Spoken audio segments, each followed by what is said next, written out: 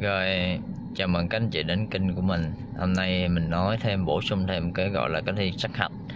Thì hiện tại mình đang thi bên sát hạch lái xe hoàng gia. Thì ở đây có nhiều học viên đã bị gớt ở nhà xe gấp ngang. Anh chị nhớ chú ý nha, nhà xe gấp ngang này thì mình đã hướng dẫn rồi cách là hẹp.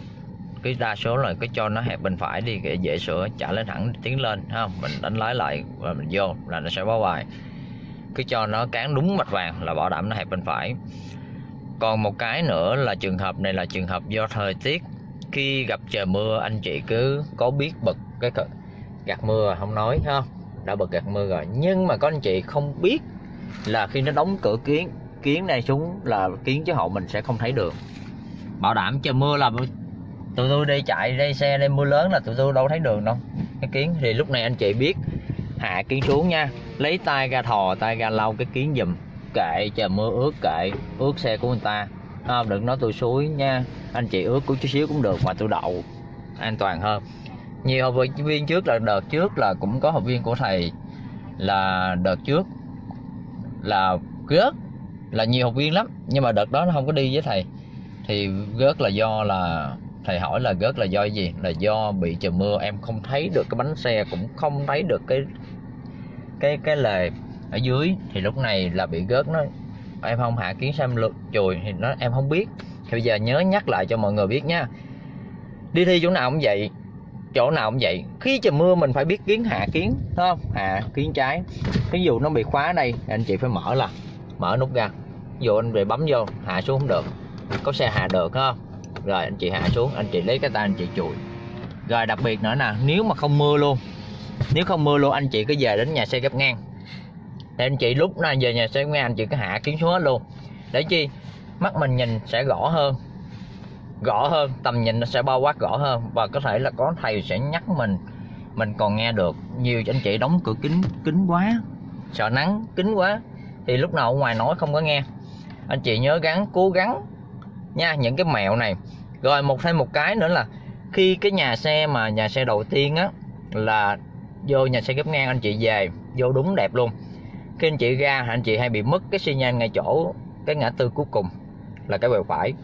Thì lúc này thầy sẽ hướng dẫn, mình sẽ hướng dẫn là cách ra đơn giản và không bao giờ bị mất cái đó. Nha, không bao giờ luôn. Một chút mình sẽ chỉ, rồi bây giờ em tiến lên đi.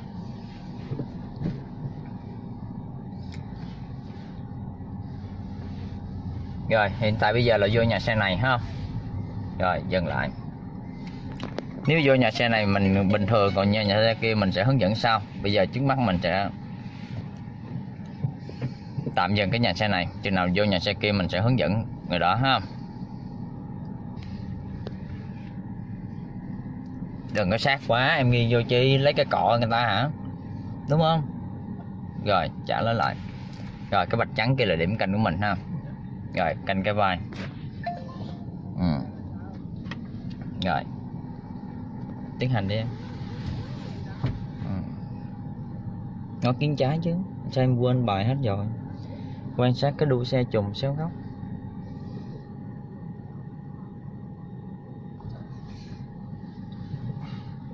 Em trả lái trước đi rồi mới gà số. Hiểu không? Nó không có quên được cái cái cái cái ta lái mình ha. Gà số đúng chưa? Ừ, đúng rồi nhớ cho cán đè là bạch vàng giùm anh nha. Anh chị cứ cho cán đè là bạch vàng, khi mình cán đè là bạch vàng thì bảo đảm bảo đảm trong bên phải mình nó sẽ hẹp. Rồi. Rồi ngó phải giùm anh. Có thể em hạ kiến xuống luôn, dễ thấy hơn. Đó, rồi, lùi. Không? Hạ kiến xuống dễ thấy hơn. Rồi, đưa nữa cho song song luôn. Rồi, dừng. Trả lấy thẳng luôn em để máy lên đi. đâu có gì hấp tấp dữ vậy. Rồi em buông thẳng đi nhẹ nhẹ thôi. Rồi dừng. Đi ra. Thanh niên mình đâu có gì hấp tấp đi đi xong rồi về nhà lấy cái bằng đi muốn làm gì làm muốn chạy sao chạy rồi đi. Tập trung vô nhớ bài giùm anh rồi trả lời lại. Rồi một chút mình sẽ hướng dẫn cho cái nhà xe nếu mà nhà xe này mình đi ra bài như thế nào theo, nha bài thi qua ngã có tín hiệu điều khiển giao thông cố gắng nha dễ bị mất cái xi nhan lắm. Nếu mà nhà xe dưới thì qua nó không mất xi nhan này à, nhưng mà nhà xe đầu tiên mà lên dễ bị mất lắm. Nhà xe này ra là dễ bị mất xi nhan lắm. Bài thi tiếp theo, à, bài thi mình sẽ chỉ luôn bạn rồi em này thì chạy tốt nhưng mà lố giúp cầu Bạn đã thi chừa, xin mời bạn xuống xe. Bạn cần luyện tập thêm. rồi mình lui vô. Ngó bên phải nha rồi hẹp không hẹp, đúng không? Dừng lại, chạy lên thẳng. Rồi, tiến lên. Nhớ cái kiến này phải xuống chút xíu nên không? Rồi, tiến lên cho nó hở hơn một gang tay. Rồi dần hết lái qua. Chị. Rồi, lùi xuống.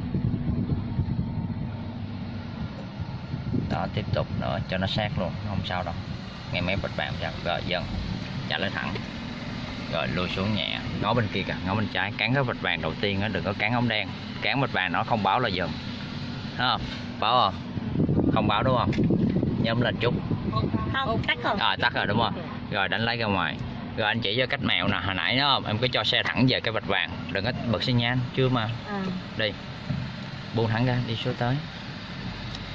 Đặt quan sát vô. Rồi anh chị nhớ lưu ý cái nhà xe đầu tiên của bên sát hạch hoàng gia thì cái đầu này dễ bị cái tắc xi nhan lắm không nhóm lên rồi, em trả lại là dần dần trả lại. Nữa đi, nhóm lên chút xíu nữa. Nữa rồi, trả lại thẳng. Thẳng luôn. Rồi, bật xi nhan phải luôn. Rồi, đi. Đó, đi thẳng luôn. Nó sẽ không bị tắt xi nhan không?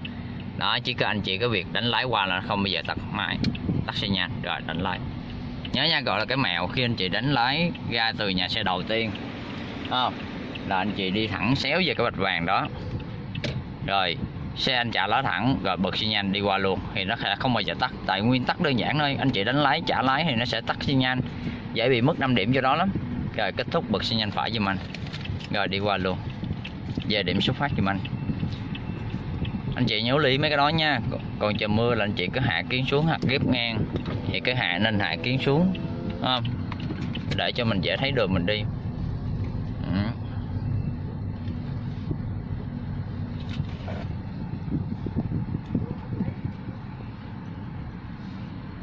rồi xe 26 luôn.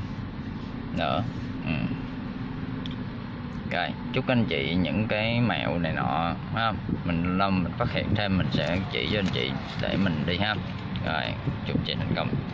Rồi thì nãy mình có nói là cái vụ mà cái mẹo để mà tăng tăng tốc. Bài thi tiếp theo, bài thi tạm À. dừng ở chỗ có đường thì nãy mình có nói cái vụ cái mẹo là nhà xe đầu tiên À, không để không bị tắt xi nhan thì hôm nay mình sẽ giới thiệu thêm một cái phần nữa gọi là cái mẹo để tăng số. Bên uh, trung tâm sát hạch lái xe hoàng gia. Thì cái mẹo này mình tăng số thì thấy học viên rất dễ. Không khi học viên tăng số theo kiểu kia thì học viên có nói là Ồ, cô sao của thầy dễ? Thì mình sẽ áp dụng luôn. Không để mình tăng số ở áp dụng qua bên trung tâm sát hạch lái xe hoàng gia. Thì một chút sẽ mình hướng dẫn cho cách tăng tốc. Thì nó đơn giản và nó ít đảo tay lái và nó cũng không gây khó khăn khó lắm. Cho anh em nào mà đã cứng rồi mình cứ tăng tốc theo cơ bản. Trước giờ Dừng xe chưa đến vị trí. hơi bị thấp á chưa tới là thấp. Lần sau rút kinh nghiệm lên. Còn mà quá thì mình rút kinh nghiệm là mình thấp hơn lại chút. Ha rồi hồi nãy thầy toàn có chỉ là cách tăng tốc rồi đúng không? Bài thi tiếp theo, bài thi thay đổi số trên đường thẳng. Rồi phía trước xe phía trước là xe số tự động ha. Không biết vì lý do gì chỉnh ghế hay cái gì đó. Dừng lại. Rồi mình đi tiếp. Khẩn cấp mình có chưa? Chưa. Thì chỗ nào? Ngay chỗ cái biển đầy.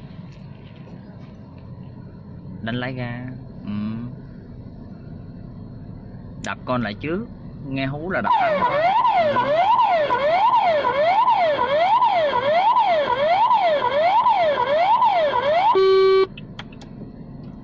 rồi. Thì anh chị muốn tăng tốc hay anh chị muốn vô một cái bài nào thì đầu tiên anh chị phải cho xe của người ta ra trước hết rồi anh chị mới vô nha tuyệt đối không vô chung. Vô chung thì sẽ cán vạch chung là sẽ bị trừ điểm chung. Rồi trước mắt thì cái cái đi bình thường, cái nhả chân con cho xe thẳng. Rồi, cái đầu xe mình nè, nó lắp cái vạch vàng ở trên đây ngay chỗ biển báo tăng tốc thì mình đập ga mạnh lên, ha. Không rồi, đập ga mạnh lên. Nữa nữa. Nghe tiếng từng vô số 2 rồi, vô số. Rồi, để đó rồi đến đây cái mình ép trái về số 1 đi qua luôn. Rồi đi qua luôn. Bài thi tiếp theo, À. bài thi ghép rồi nghiêng lái ra ngoài nghiêng lái ra ngoài sát lề quá nghiêng lái qua. Ừ đúng rồi. Thì cái mẹo này rất dễ cho những anh chị nào còn hơi lúng túng. Không? Thế gì anh chị phải đạp ga mồi trước rồi xong cái vô số anh chị đạp ga thêm một lần nữa thì nó hơi bị gói anh chị cho đầu xe lắp bịch vàng hoặc ngay chỗ biển số biển bắt đầu, ha, tăng số này nọ, thì anh chị đạp ga mạnh lên. Thì là mình đạp ga mạnh lên là sẽ trên 20 anh chị cứ đạp con, ngay từng từng đạp con vô số cho nó trôi đến đó, anh chị ga thẳng nhẹ, anh chị về lại số 1 anh chị đi qua luôn. Không cần dừng lại, lý do, tại biển báo đó yêu cầu là giảm tốc độ, giảm số, giảm tốc độ chứ không phải là dừng lại hẳn. Anh chị nhớ nha. Còn chị nào yếu anh chị có quyền dừng lại.